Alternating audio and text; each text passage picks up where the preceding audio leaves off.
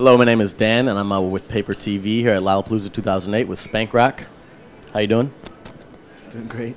He's doing great.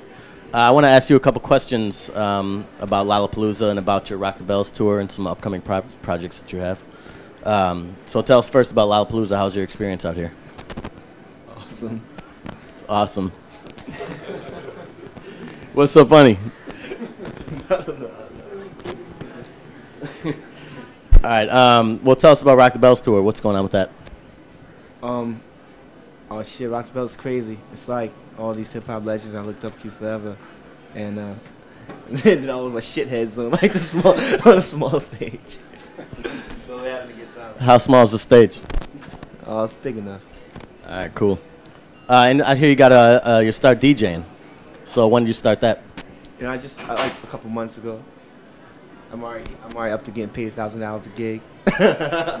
Well, there you go. yeah, rock and roll, baby. Let's, let's keep going. Come on. Come on. Uh, what's up? With your, what's up with your Monday night in uh, in Philadelphia? You got a Monday night in Philadelphia now? Yeah.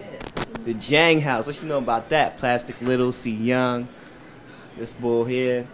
It's like one of the most fun weekly parties ever invented in the history of weekly parties. All right. so what's your plan uh, t- today? What uh, what time you going on at Lollapalooza? I don't know. an awkward mess. We haven't slept. I don't know. But it's gonna be good though. I hope. Darko Devin, I love you guys. I'll see you in like 20 minutes. All right, this is Dan with Paper TV at Lollapalooza 2008. Spank Rock. Thank you. All right. Nice. Can we do a quick two minutes to wrap it up? Do Yeah, I was like, oh. you want to ask the questions because you're funny? Do you know who uh, John McCain is? Yes. All right. And uh, are you a fan of uh, John McCain? Not particularly. Are you a fan of Barack Obama? Yes. Yes, sir. Are you a fan of Rock the Boat? Yes.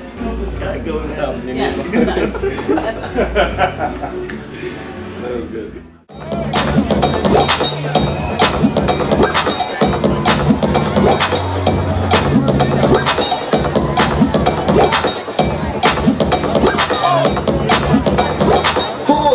Force the people, they never understand just how deep is our issue till we put it in our hand. Push, pull on the trigger, fuck them, aim for their head. So inspired, we gon' riot till.